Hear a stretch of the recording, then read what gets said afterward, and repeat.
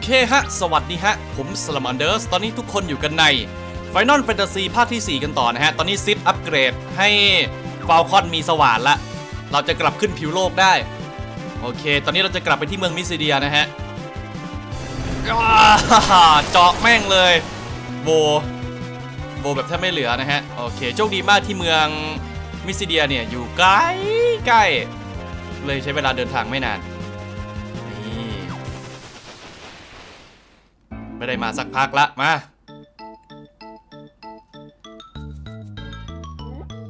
ข่าวรอเจ้าอยู่ไปกันเถอะ เราต้องมุ่งหน้าไปยังหอภาวนาอ้าวรู้เรื่องนี่หว่ากันก็เยี่ยมไปเลย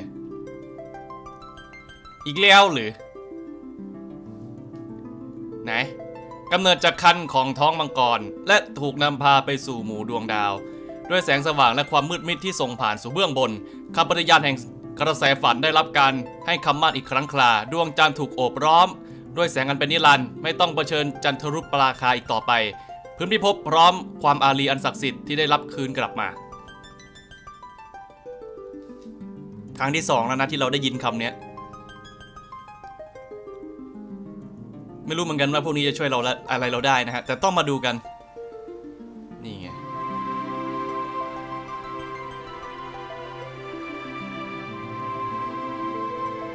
นิดหน่อย ถึงปานกลาง ก็คงไม่สูงมากหรอกฮะถ้าเทียบกับหอคอยบาบิลเนี่ย อันนี้ถือว่าสูงน้อยมาก มีทั้งจอมเวทดำจอมเวทขาวอยู่ตอนนี้ แล้วก็พร้อมกับสี่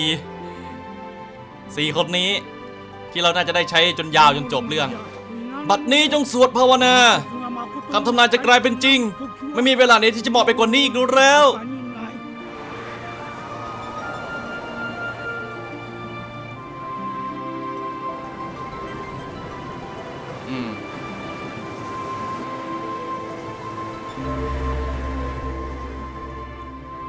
มันคืออะไรเหรอ ช่วยบอกผมหน่อยได้ไหม เพราะว่าตอนนี้รู้สึกเหมือนมันมืดไปหมด โอ้ตรงนี้เกิดน้ำวนด้วย น้ำวนขนาดใหญ่เลย โอ้นางได้ยินบทสวดของพวกเราอะนางที่ว่าคือใคร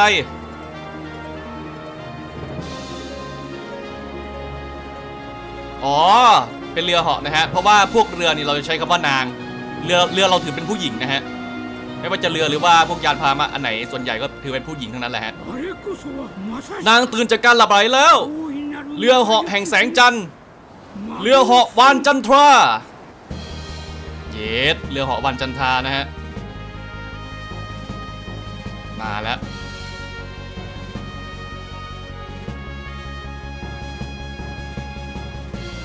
มีคำขึ้นอีกมาอีกแล้วใช่ไหมเราจะนี่คือเรือลำใหม่ของเรานะครับผมว่า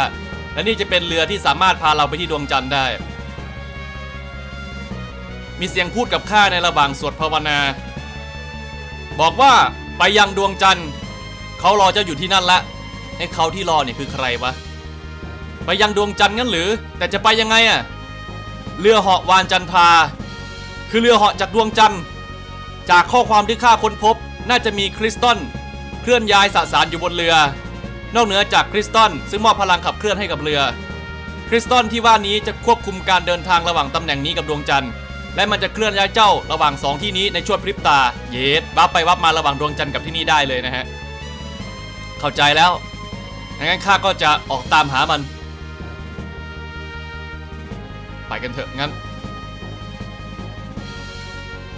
โหอะไรมันจะขนาดนี้ นี่ไง คริสตัลนะฮะ ไป ใหญ่เท่ากับเมืองเมืองหนึ่งเลยนะ เรือเหาะวันจันทาเนี่ย มุ่งหน้าสู่ดาวของกุเตย ดวงจันทร์ แต่ก่อนหน้านั้นนะฮะ ก่อนที่เราจะไปลุยดวงจันทร์เนี่ยผมจะพาทำเควสเอา Excalibur ก่อนแล้วกันนะฮะ ให้เรากลับไปที่อ่า Enterprise เป็นเรือลำเดิมของซิดนะฮะ แล้วก็เอา ไอตัว hoverboard มาด้วย ตัวสะเทินน้ำสะเทินบกนะฮะ เราจะต้องใช้มัน มาตรงจุดจุดนี้ โอเค ไปกันเถอะ หน่อยบางอาจมาขวางทางจนพวกริวรอไงพวกแกน่ะออโต้ก็ชนะแล้ว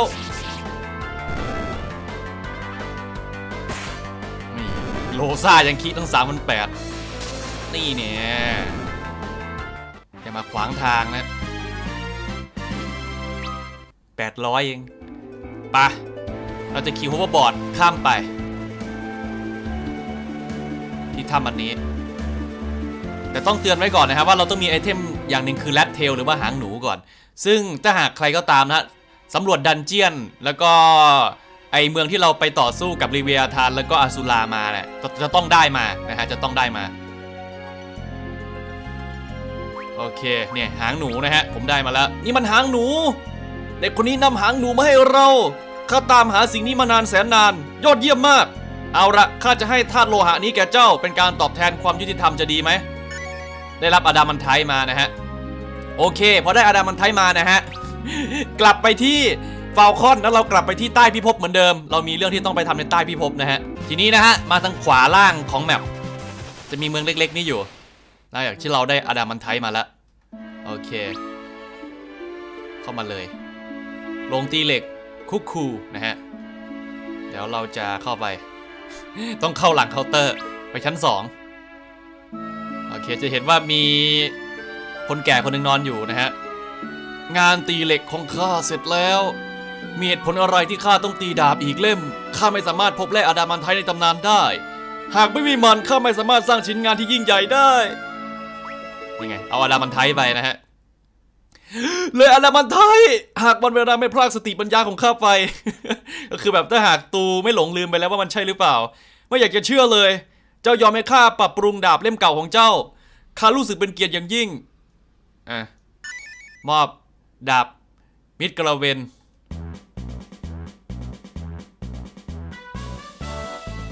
เอาไปตีซะ ทีนี้ก็รอ ต้องลองทักดูว่าเสร็จหรือยังแต่มันยังไม่เสร็จง่ายๆหรอกฮะเสร็จแล้ว เสร็จแล้วเหรอดาบ Excalibur ศักดิ์สิทธิ์มันเป็นของเจ้า ตอนแรกนึกว่ามันต้องใช้เวลารออีกสักหน่อยฮะแต่ว่าได้มาละ Excalibur ทีนี้นะฮะ การที่เราจะมาตรงจุดมุ่งหมายของเราได้ เห็นตรงจุดที่ผมจอดยานอยู่ใช่ไหมฮะ ตรงประมาณทางซ้ายของแมปน่ะให้เราเข้าถ้ำอันด้านล่างจากอันด้านบนนะฮะ อันที่ 2อะ ใช่ เข้าไปตรงที่อยู่ข้างๆบันได พอเข้าไปเสร็จแล้วนะฮะเราจะมาโผล่ตรงด้านบน และให้มาทางขวาเดินไปทางขวาเรื่อยๆเราจะมาถึงถ้ำอันที่ 3 ที่อยู่ทางขวานะฮะไม่ใช่อันล่างสุดนะพอเราเข้าไปในถ้ำนั้นแล้วนะฮะมันจะมีทางเชื่อมออกมาตรงถ้ำอันที่ 4 ที่อยู่ด้านล่างสุดทางด้านขวาล่างนะฮะแล้วเราจะสามารถเดินออกมาจนถึงจุดๆนี้ได้นี่คือเป้าหมายของเรา นี่แหละ เป็นพระราชวังคริสตัลนะฮะในที่สุดเจ้าก็มาถึงแล้ว ท่านคือใครเนี่ย ข้าคือฟูโซยะ ข้ามีหน้าที่ดูแลการหลับไหลของชาวจันทราลูนาเลียนนะฮะ พวกชาวลูนาเลียน ชาวจันทรา ชาวจันทางั้นเหรอ ใช่ พวกเราคือชาวจันทาหรือว่าลูนาเลียน นานมาแล้วโลกซึ่งอยู่ระหว่างดาวเคราะห์สีแดง กับเกรดเบเฮมอสซึ่งถูกทำลายล้างอย่างหนัก ผู้รอดชีวิตกลุ่มสุดท้าย โดยสารเรือเหาะและหลบหนีไปยังโลก โลกอย่างนั้นเหรอ ที่ที่เจ้าเรียกว่าบ้านนั่นแหละ แต่โลกของเจ้ายังอยู่ระหว่างวิวัฒนาการ เจ้าก็เห็นใช่ไหม ดังนั้นนักเดินทางกลุ่มนั้นจึงสร้างดวงจันทร์ดวงที่สองสำหรับดาวเคราะห์ และที่แห่งนั้นพวกเขาได้ตั้งโลกรากในสภาวะการนอนหลับที่ยาวนานและเงียบสงบ ซึ่งพวกเจ้าเรียกคนกลุ่มนั้นว่า ชาวจันทราสินะ อันที่จริง แต่ทว่ามีชายคนหนึ่งผู้ไม่เต็มใจที่จะหลับไหล เขามีความคิดว่าพวกเราควรจะกำจัดสิ่งมีชีวิตทั้งหมดบนโลกเพื่อสถาปนาให้เป็นของพวกเรา อ้าวเร็วจังเลย แย่มากลิเดียยังบอกว่าแย่มากเลยนะฮะ ใช่ ดังนั้นข้าจึงใช้พลังของข้าผนึกมันไว้ร่วมกับคนอื่นๆ แต่ในขณะที่มันหลับไหล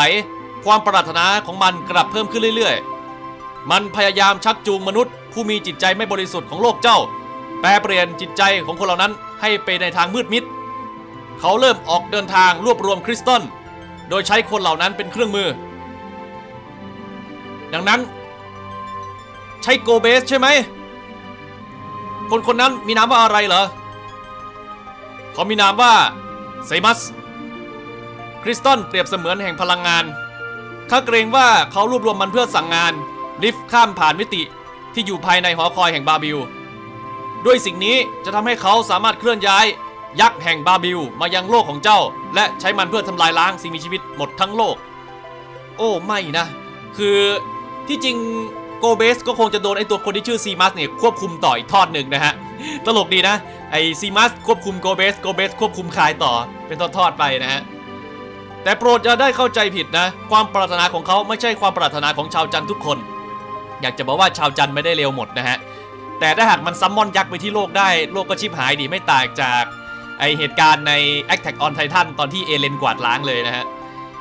ชาวจันทาคนอื่นๆเนี่ย ตั้งหน้าตั้งตารออย่างสงบ ให้ชาวโลกก้าวหน้าไปถึงจุดที่พวกเราสามารถปฏิต่อปฏิบัติต่อกันและอย่างเท่าเทียมได้ สรุปก็คือชาวจันเนี่ยคือฉลาดและเทคโนโลยีล้ำกว่าชาวโลกนะฮะ ก็เลยแบบรอให้ชาวโลกเนี่ยพัฒนาก่อนแล้วค่อยแบบเผยตัว จะได้แบบว่ารู้สึกเท่าเทียม พวกเราเพียงแค่รอและนอนฝันถึงวันนั้นเท่านั้นเอง แล้วเรือเหาะบานจันทาล่ะมันมาจากไหนอะอ๋อไอเรือนั่นเหรอ น้องชายของข้านามว่าครุย่าได้สร้างยานพาหนะที่ว่านี้นานมาแล้วและควบคุมมันไปยังโลก เขานำความลับของเราหลายต่อหลายอย่างติดตัวไปด้วย เช่น ความลับในเดวิลโรดของเจ้า และเรือเหาะของขวัญแด่มนุษย์ ครูย่าเนี่ยหลงใหลในโลกของเจ้ามากๆเลยนะ และต้องการเรียนรู้เกี่ยวกับมันให้มากขึ้น สรุปก็คือ คนที่สร้างระบบ warp Devil Road ที่อยู่ที่มิสซิเดีย แล้วก็เป็นคนคิดค้นเรือเหาะเนี่ย ก็คือไอ้คนที่ชื่อว่าครูย่านี่แหละฮะ และขณะใช้ชีวิตอยู่ที่นั่น เขาได้ตกหลุมรักกับหญิงคนหนึ่งซึ่งเป็นชาวโลก ต่อมานางได้ให้กำเนิดเด็กน้อยสองคน หนึ่งในนั้นก็คือเจ้า อ้าว เฉลยแล้วนะครับว่าเซซิลเนี่ยเป็นชาวลูนาเลียนครึ่งตัวนะฮะ อะไรนะ ตกใจเลยข้าเหรอฉะนั้น เสียงที่ข้าได้ยินอยู่ที่ภูเขาออดิวก็ คือเสียงวิญญาณพ่อข้าที่ตายไปแล้วนะสิ เออ ใช่แล้วล่ะ อันที่จริงรูปร่างหน้าตาของเจ้าช่างชะช่างคล้ายกับครูย่าในวัยหนุ่มมากเหลือเกิน เขาคือพ่อของข้างั้นเหรอ เขาได้มอบพลังของเขาให้แก่เจ้าทำให้เจ้าสามารถป้องกันไม่ให้แผนการของซีมัสบรรลุผลได้ เจ้าต้องหยุดซีมัสให้ได้ เพื่อชะตากรรมของโลกรวมถึงเพื่อประชาชนของเจ้าด้วย เราต้องรีบออกเดินทางไปยังหอคอยแห่งบาบิล ใกล้กับเมืองของเอบรันหอคอยนั่นงั้นหรือ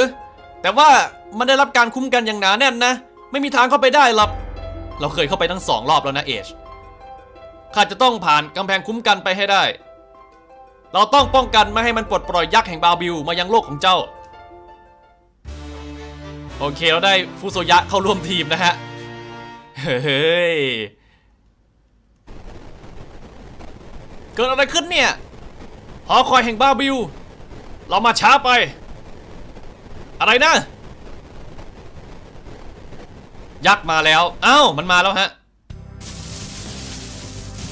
เวนนี่ขนาดว่าเราสามารถไปกลับจากดวงจันทร์ได้ในพริบตา จะมาช้าไปได้ยังไง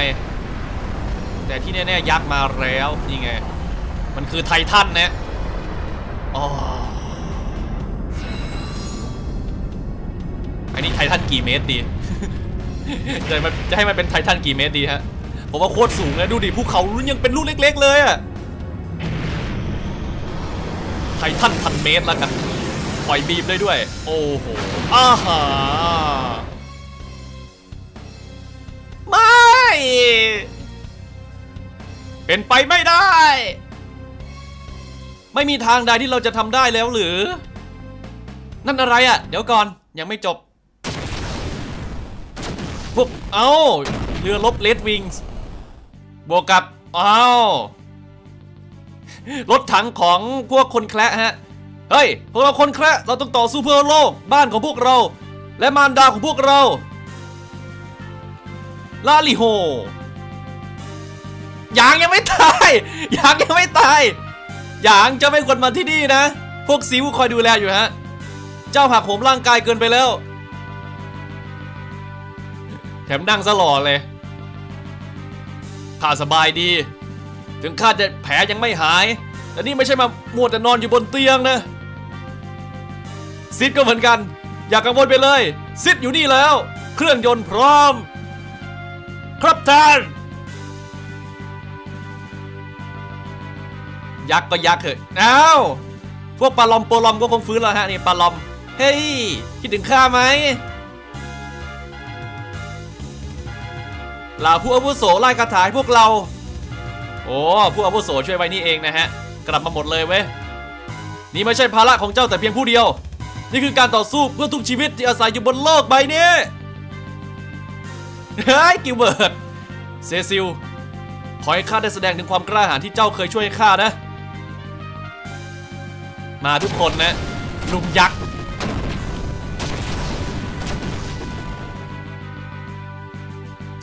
พวกเขาทั้งหมดมาเพื่อต่อสู้เลย เจ้ายักษ์นั่นมันล้มแล้ว นี่เป็นโอกาสของเรา เราเข้าไปในนั้นได้แล้ว เออ ไปเลย เราจะทำลายอะไรก็ตามที่ควบคุมมันอยู่จากข้างในนี่แหละ ใช่ เราต้องการความช่วยเหลือจากท่านนะซิดโอเค พวกเราจะเข้าไปยังปากของยักษ์นั่น แล้วไอ้นี่เป็นใครเนี่ยกล้าดียังไงมาสั่งข้าเอาเอาอีกแล้วข้ามีนามว่าฟุโซยะมาจากดวงจันทร์ดวงจันทร์เลยเหรอเราไม่มีเวลามาอธิบายแล้ว เจ้าช่วยขับไปให้ใกล้กว่านี้ได้ไหม เราจะกระโดด ปลาว่ายน้ำได้หรือ เจ้าคิดว่ากำลังพูดอยู่กับใคร อันนี้คือไม่รู้เหมือนกันว่าเล่นสับอะไรนะซิดแต่ปลามันก็ว่ายน้ำได้นั่นแหละ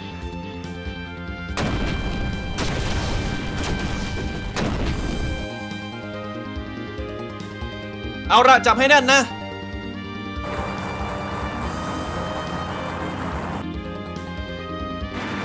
โอกาสนี้ละ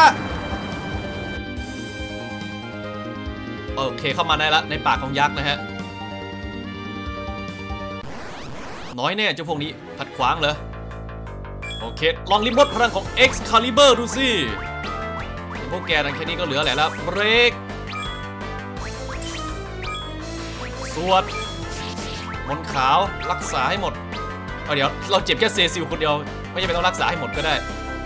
แต่พวกนี้ไม่ไม่เบานะฮะไม่เบา แต่ไม่ได้เบาไปกว่าพวกเราหรอกมาฮิวให้หมด ฟูโซยะท่านฮิวเบามาก ถึงแม้จะเป็นเวทระดับต่ำๆก็เถอะเบรกโอ้ มันกันเบรกเว้ย เวทฆ่าสังหารในตายในทีเดียวมันกันว่ะ โอเคไม่เป็นไร นี่ขนาด Excalibur ตีโคตรแรงเลยนะฮะมันจะสามพันห้าคิดดูดิ มาพวกเราคงไม่จำเป็นแล้วให้เซซิลตีคนเดียวดีกว่า อับอายมาก ตีไปก็อับอายจะอับอายชาวยุทธมากเลย อ๋อ มันแพ้ไฟฟ้าตัวเนี้ย โอเค เจอพลังของ Excalibur เข้าไป น่าจะให้ค่าประสบการณ์เยอะอยู่นะไอ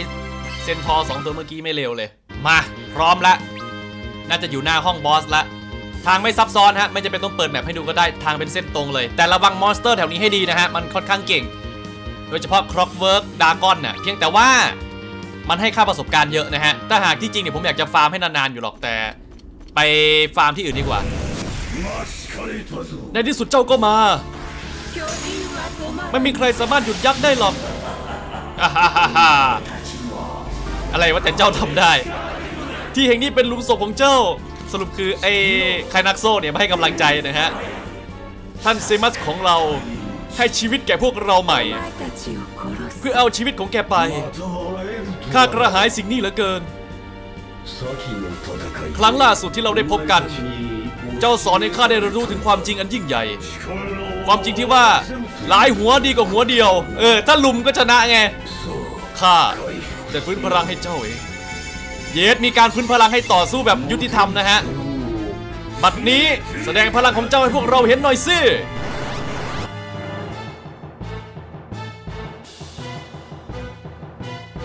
โอเค เริ่มจากไอสกามิลิโอเน่เป็นแกอีกแล้วสินะ ดาบศักดิ์สิทธิ์เดี๋ยวลองขโมยอยู่ที่มันมีอะไรน่าขโมยหรือเปล่ามนขาว สโลอยู่ไหนวะ สโลมันก่อนเลยเรียกกระสุนรีวิวทันไม่มีไม่มีเทมให้ปล้นนะฮะ โอเคมนขาวความศักดิ์สิทธิ์กระบวนท่าแสงที่รุนแรงมาก แต่ไล่นาน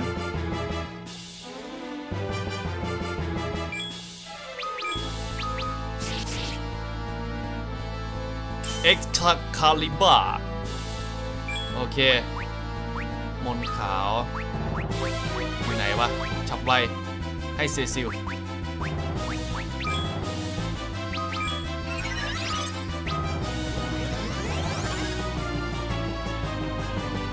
นี่เนี่ยขนาด Excalibur ยังตีเข้าแค่นั้นเองนะฮะ คิดดู แต่ว่าตีเรื่อย ๆ เว้ย ความศักดิ์สิทธิ์ นี่ไง โอ้ย เสียเวทไล่ตั้งเยอะเข้าแค่พันเดียวเนี่ยนะ เอาลีเวียทันไปกิน คลื่นยักษ์เออลิเดียนี่ดีอยู่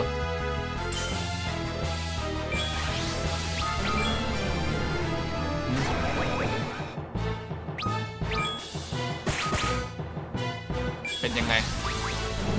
เรียกกระสูนตีเวียทันอวยพร อะเซซิล ตาบอดแล้ว ตีไม่โดนเลย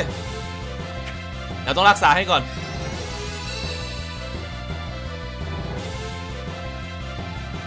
อืม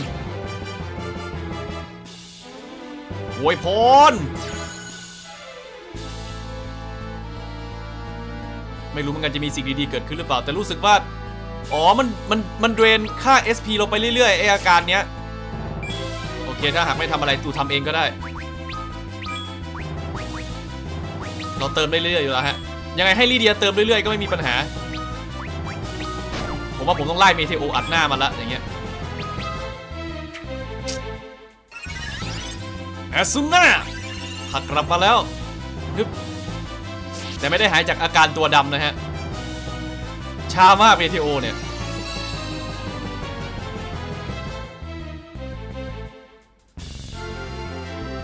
ย่า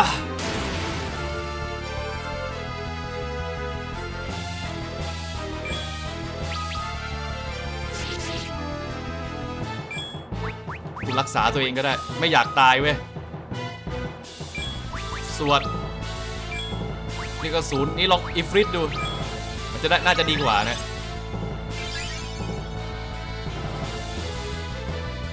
อืม อ่าตาข้าผมว่าให้เซซิลยืนอยู่เฉยๆจะดีกว่าอย่างเงี้ยยืนเฉยๆเป็นตัวแทงครับเพราะว่าสการเมลิโอเน่เนี่ยก็จะตีแต่เซซิลไล่ช้ากันจังวะโดนไอ้นั่นเข้าไปทีนึงรู้เลย ป้องกันเข้าไปสวดเมเทโอ 9,999เอ้าทำไมมันเข้า5,000วะโถ่เอ้ยเข้าแค่นั้นเองเหรอเนี่ยดันใช้อีฟรีดไปอะ มันเป็นตัวไฟอะ มันไม่ได้ผลกับ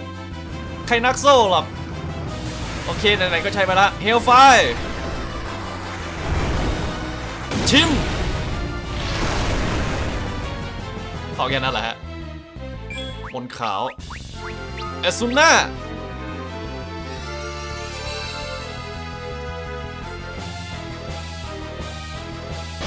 อุ๊ปส์อ้นี่ทำให้ติดพิษอีก ตีไม่โดนโอ้บ้าเอ้ยตีกายภาพเข้าไปโดนตึงเหรอเนี่ย แต่ไม่โดนเว้ยเซซิลเรียกกระสุนนี้ต้องลามูเอาไม่ที่จริงต้องใช้น้ำแข็งถ้าจะไม่ผิดมันมันต้องใช้น้ำแข็งนะฮะโอเค โดนสโลหมดทั้งทีมเลยแล้ว อันนี้เราต้องแก้ก่อน ออยู่ไหนวะ ไอฉับไว ถ้าตีไปไม่ดี อย่าติอย่าไปตีมันก็พอจบ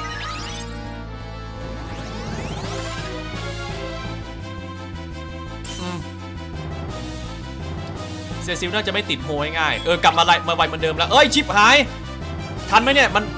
น้ำมันเซาะเท้าแล้วนะ บนขาว เพราะว่าถ้าหากอันนี้มันต้องใช้ไฟฟ้า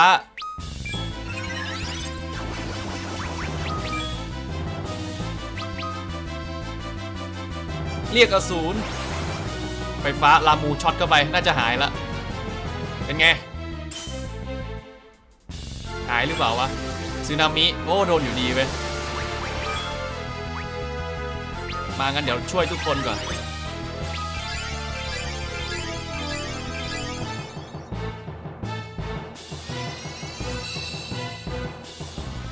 ถ้าใช้เฮสแล้วทุกคนน่าจะกลับมาเป็นปกติได้มั้ง เดี๋ยวต้องให้ลิเดียค่อยๆไล่เฮสให้ทีละคนนะ ตอนนี้มีโอกาสอยู่ว่าจะดีต้องให้โรซ่าไหมลิเดียไล่ไม่ได้ โอเค เรียกกระสุนอ่า นี่ต้องเป็นชิวะ โอเค ป้องกันต่อ โอ้เวนเอ้ย จุก จุกมากเลย ตบจุกอะไรขนาดนี้ มนขาว ฉับไว ตัวเองกันแหละ มนขาวคูล่าให้เซซิลก่อนเซซิลจุกมากเลยเนี่ยป้องกันแค่ป้องกันก็พอ ครกอัพ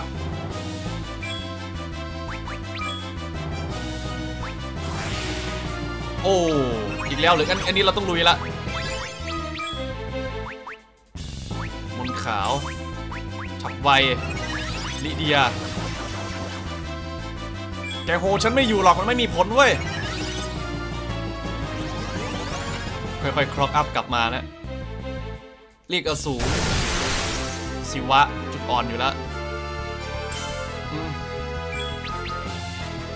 เออว่าแต่ถ้าเจอกับบาบาลีเซียเราจะทำยังไง เราไม่มีคายแล้วนะฮะ เออชีพหายละ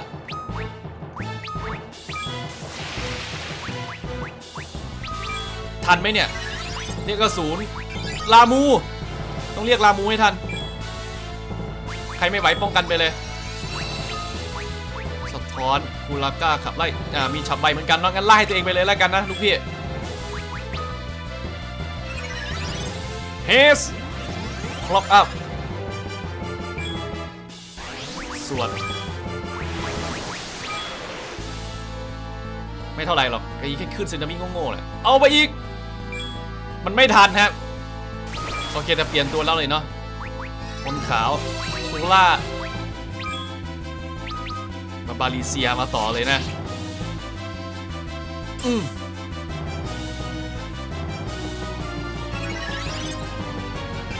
ยังไม่จบพวกเรายังไม่แพ้ เออนี่กระสุนทีเบียทานแล้วกัน เนี่ย เราจะทำยังไงอะโจมตีกายภาพเข้าไปไม่ได้แน่ๆน้ำบนบนขาวพลาด เค เฮ้ยเพิ่งเพิ่งสังเกตเนี่ยเซนซิลใต้เหรอ เดี๋ยวเดี๋ยวเดี๋ยวเดี๋ยวเดี๋ยวเดี๋ยวฟินิกซ์ดาวอยู่ไหนฟินิกซ์ดาวอยู่ไหนฟินิกซ์ดาวตายได้ยังไง เออแต่อย่างน้อยก็หายจากอาการของไอ้ไข่นักโซ่อะสโตนทัชจะทำให้เป็นหินสินะ ไม่มีผลเว้ย ป้องกันไป มนขาว เอาคูราจาไปเลย เอาขั้นสุดยอดนะ ไม่งั้นแล้วก็ตายกันหมดแน่มนขาวตัวเอง สายฟ้า ยัง พวกเรายังไม่แพ้อ้า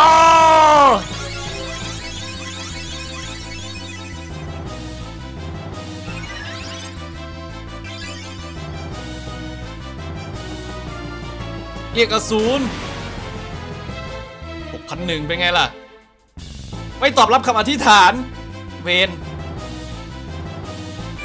เรียกอสูรลิเวียทานอีก อย่าบอกนะ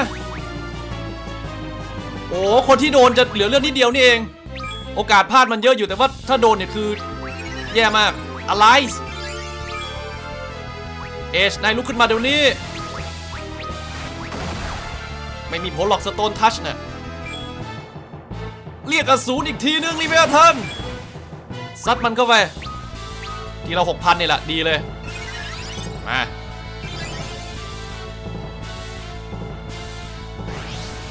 โอ้ยเวทสายฟ้าเหรอเราไม่ได้กลัวเลย ตอนนี้คือฮิวอย่างเดียวอะทุกคนฮิวทุกอย่างอะไรพื้นมาแบบเต็มพิกัด เต็มที่ฮะ แต่ใช้ MP เยอะมากบอกเลยพวกเราทุกคนไม่มีวันแพ้ ใช่ไหมโอเค สวดต่อไป อีกแล้วเหรอวะ เวนโดนโดนกันแทบทุกคนเลยบนเขาคูราจา ทั้งหมด เรียกกระสูนโอ้ชิตลูบิกังเต้มันออกมาแล้ว ไล่ทันกันไหมเนี่ย โอ้ฟีลาก้าเดี๋ยวดูก่อนเลย ดีนะไม่ตายกันหมด ต้องรอมันเปิดผ้าคลุมก่อน ตีสุ่มสี่สุ่มห้าไม่ได้ มนขาว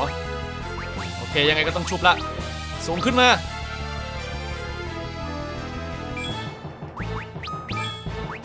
อยากจะลองดีใช่ไหม ได้เลย อะไร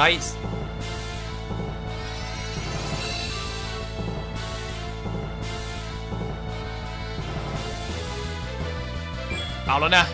สวดอีกทีนึงโอ้โหน่าจะแรงนั่นน่ะ โอ้ ตายกันหมดเลย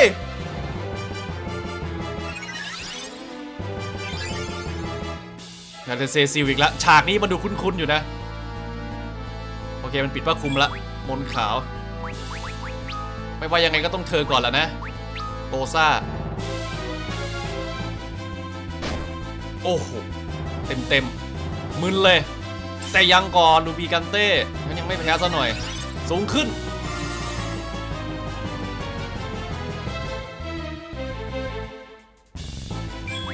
บนขาว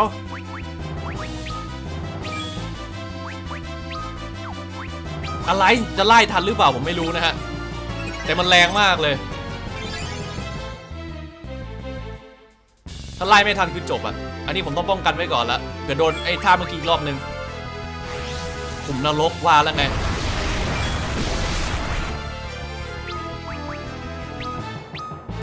รู้ก็เลยกาดไว้ก่อน รู้ละ แต่ว่าผมรู้แล้วแต่ต้องผมต้องการจังหวะ ผมต้องการจังหวะก่อน เดี๋ยวรอให้มันรอ เดี๋ยวผมจะรอจนกว่ามันจะใช้ท่าขุมนรกนะฮะ ตบมาดิ เดี๋ยวผมจะรอมันตบก่อนแล้วกัน โคตรเกลียดท่าขุมนรกเลย เอ้าตบมาดิ เออดูรอจังหวะที่จะโดนตบอยู่แล้ว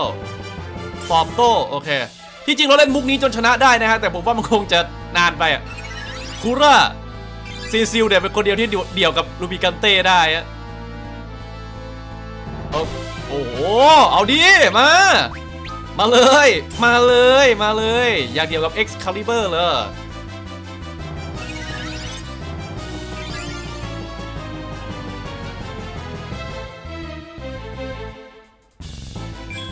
เดี๋ยวรอมันเปิดผ้าคลุมก่อน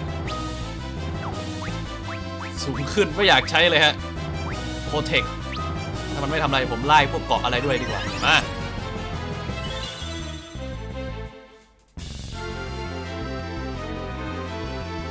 ขอแค่เราไม่ตีเข้าไปสักอย่าง เออ นั่นแหละ เดี๋ยวผมรอแล้ว เดี๋ยวรอมันไล่เสร็จปุ๊บ เดี๋ยวผมจะชุบเลยเดี๋ยวรอก่อนรอก่อน ทีนี้น่าจะไวพอ แต่ถ้าหากจะให้ เออ ไวจริงๆต้องเป็นฟีนิกซ์ดาว เอานี้ดีอะเอานี้เดียวกับโรซ่าก่อน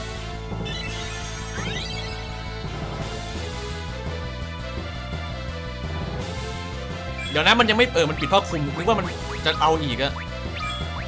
เค สวด ไม่ใช่สวดดิมนขาว อะไร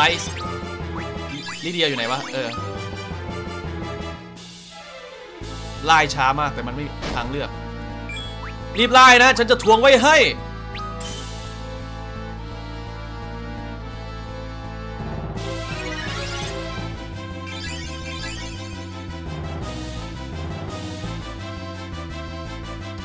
เฮ้ยเราอีกแล้ว ปกป้อง ปกป้องทุกคน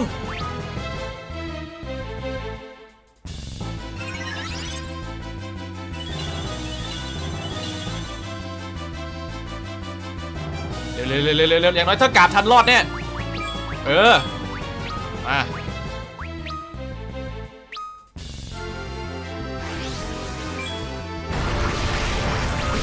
เตรียมคูราจาเลยหลังจากที่รอดเสร็จอะ เออ เรียกกระสุน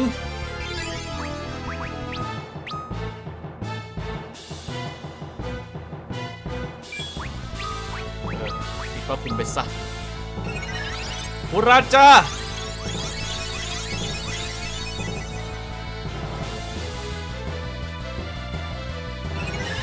อันนี้เกือกกันไม่เต็มนะไล่แล้วไล่อีก โอเคอันนี้เต็มแล้วล่ะอันนี้รอลิเดียยิง เป็นอันใช้ได้ ส่วนเราสู้กันสามคนดีกว่าปลุกพวกนั้นขึ้นมาก็ไม่มีประโยชน์ละโอ้ยเชิดอย่างนี้นี่เองนะรูโฮโด ไล่ช้าเกินไปอะลิเดียเมื่อกี้ถ้ามันปิดว่าคุมอยู่มันจะไอเนี่ย มันจะมันจะมันมันจะเป็นการฟื้นเลือดฮะ เดี๋ยวเดี๋ยวมันน่าจะใกล้เปิดแล้วล่ะ เราต้องลุ้นว่าเราไล่เปิดทันนะ ไม่งั้นเราก็สิ่งที่เราทำไปจะสูญเปล่าหมดเลยเรารอก่อนรอก่อนเปิดพระคุมสักทีตูขอร้องล่ะ ถ้ายังไม่เปิดเดี๋ยวลิเดียจะไล่อีกรอบนึงเป็นการฮิวให้ตั้งหกพันเลยนะ เปิดพระคุมแค่แป๊บเดียวไง เปิดก็ร้องเปิดเถอะ โอ้ไอเวนเอ้ยผมฮิวไปผมฮิวให้มันหมื่นสองอะ ไม่ใช่ดิหมื่นโอ้ ผมมันเซ็งเลยบัดซบเออแล้วมันเพิ่งมาเปิดด้วยนะ อันนี้รอก่อนแล้วกัน ตอนมันคุมผ้าคุมอะตีทำได้แค่ตีปกตินะงั้นอยู่นิ่ง ๆ ไปก่อนผมนรก โอเค เราต้องใช้มนขาวอ่าเฮสให้กับลีเดียก่อนที่จริงตอนนี้ถ้าเรียกใส่ได้ก็โอเค แต่มันน่าจะปิดว่าคุมทันน่ะผมไม่เสี่ยงแล้วกันนะ เออ ว่าแล้วไง มาเดี๋ยวตอนนี้ลุยเอง แต่มันก็ยังตอบโต้ได้นะฮะ โอเคโดนฟีลังก้ายังไม่ถึงตายหรอกจะเจ็บไอ้มันผมฮิวให้มันหมื่นสองอะโคตรพีคตรงตรงก็ตรงนี้นี่แหละรอก่อนเกิดว่าคุมมาเดี๋ยวได้คุยกันแน่คอยดู ป้องกันไปนี่เดียวโอ้ชิตรอเลยรอเลย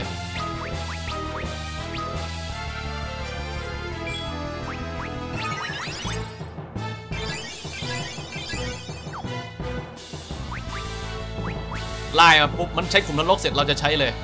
เออ น่าจะทันนะ โอเคขอร้องล่ะ ถ้าถ้าถ้าเธอไล่ไม่ทันเนี่ยคือเราเราเราจบ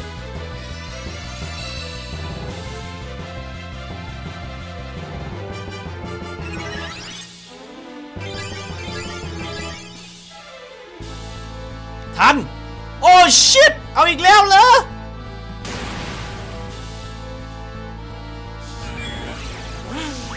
อยากจะกรี๊ดจริง ๆ เลย อ่าเลือดมันน่าจะกลับมาเต็มแล้วเนี่ย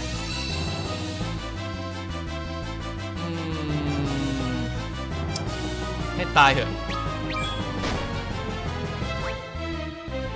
รอไปก่อน รอไปก่อน เราทำอะไรมากไม่ได้ตอนนี้ งั้นเราก็จะบัฟทีมไว้รอ มันมีโอกาสที่มันจะเคาน์เตอร์ไงตีปกติตอนนี้ไม่ไม่ work เท่าไหร่ ลิเดียร่ายไม่ทันฮะ ต่อให้ใช้ Haste ก็ตาม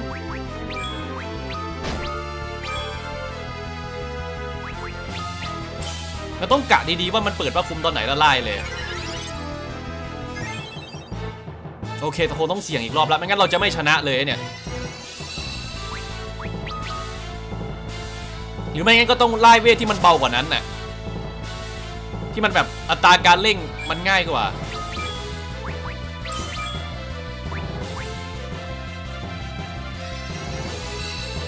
หรือไม่งั้นก็รอมันเปิดผ้าคลุมแล้วไล่เลยอย่างเงี้ย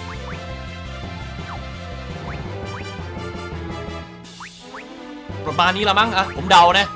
มันใกล้จะเปิดผ้าคลุมล้วอันเนี้ยเดาเฉยเออก็เดาได้แหละ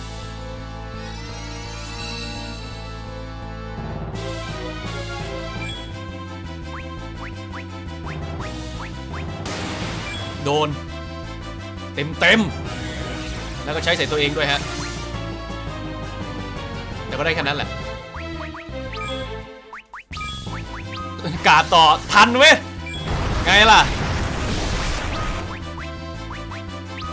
อุ้ยแต่ถึงจะทัน แต่ถึงกับนอนเลยเหรอ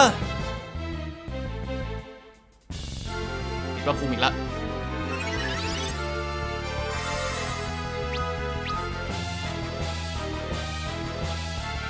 ไล่ลำบากมากไล่ลำบากมาก เอ้าไม่ตอบรับคำอธิษฐานอีกเวน ป้องกันไปนิดเดียวคนขาวคุราจาโอ้มันฟีลาก้ากลับมา เวนแล้วไง โอ้โห ดับเลย มันเปิดผ้าคลุมแล้วด้วย ครอสฉันต้องการเลยเนี่ยโอ้โอ้โอ้ดูแลวอยากจะบ้าตาย เดี๋ยวรอไล่สูงขึ้นเลย โอเค เวนไล่ผิดจังหวะหรือเปล่าเนี่ย เออไม่เป็นไรหรอกเซซิลนี่ไหวนะเซซิลนี่ไหว แต่ว่าคนอื่นไม่ไม่ไหวอะวะ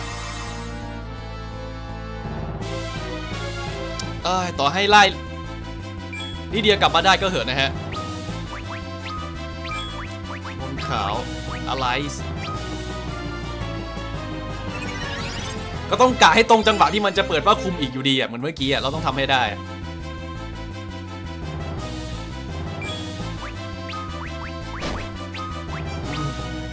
หนักแล้วเหมือนกันนะเนี่ยเซซิล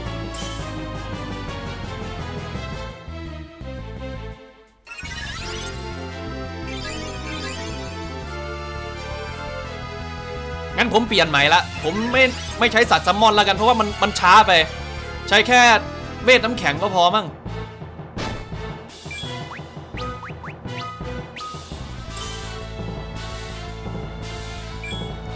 โอเคมนขาว โพเทค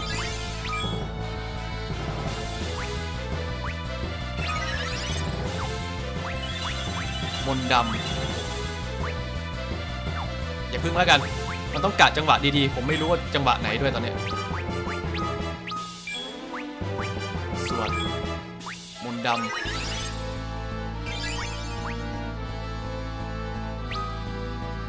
ประมาณนี้ละมั้ง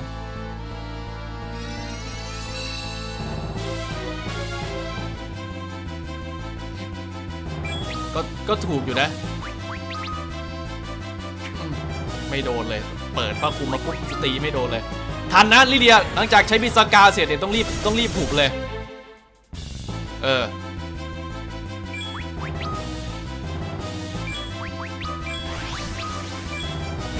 นี่ตูต้องชุบใครอีกไหมเนี่ย ผมต้องดูก่อน โอ้ยต้องชุบอยู่แล้วแหละ สูงขึ้นมาเลย แทบจะบ้าตาย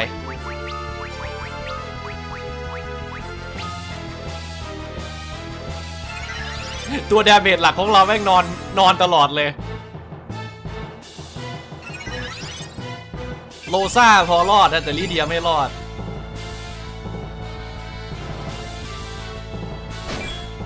ชิดโอเค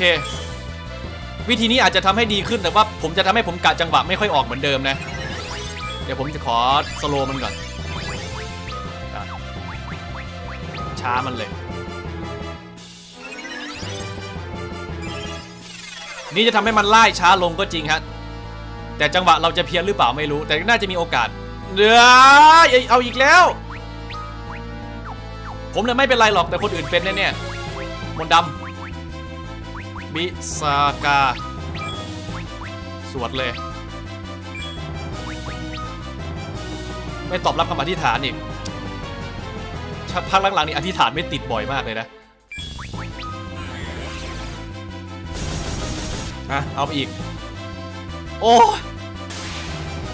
ที่จริงไม่ควรจะยืดเยื้อและลำบากขนาดนี้เลยตายเถอะ